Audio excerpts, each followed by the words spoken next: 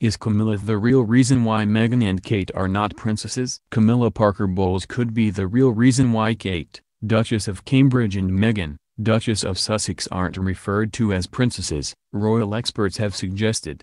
Despite Kate and Meghan marrying Prince William and Prince Harry respectively, both have been given the titles of Duchess of Cambridge and Duchess of Sussex as opposed to princesses. Speculation about the reason for the decision has set in across the country since William and Kate married in 2011, and Harry and Meghan in 2018, and now historian Kate Williams and royal contributor Victoria Arbiter have claimed to have the answer, arguing the key to the riddle is due to a title given to Camilla, Duchess of Cornwall.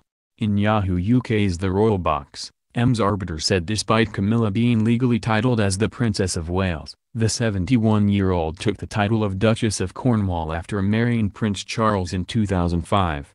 Ems Arbiter told the show the choice was out of respect for Princess Diana, who died eight years before the wedding. Ems Williams added, that's why it's Duchess throughout the royal family because Camilla is a duchess. Ems Williams was also quizzed on why there are discussions on her future title when Charles becomes king. She continued, there has not been an official notification, and Charles has said in a few interviews, he used the word queen, it's obviously more Charles' expectation and wish that she would be queen but at the moment the official line is that she'll be princess consort. But Ems Arbiter argued Camilla will take on the title of queen consort when the monarchy is handed over to Charles. She added, I don't think Charles will stand for her being anything less. Camilla and Charles married on April 8, 2005 at a ceremony in Windsor Castle. Meghan became a royal in May last year after tying the knot with Harry. She joined Kate, who became a royal when they married on April 29, 2011.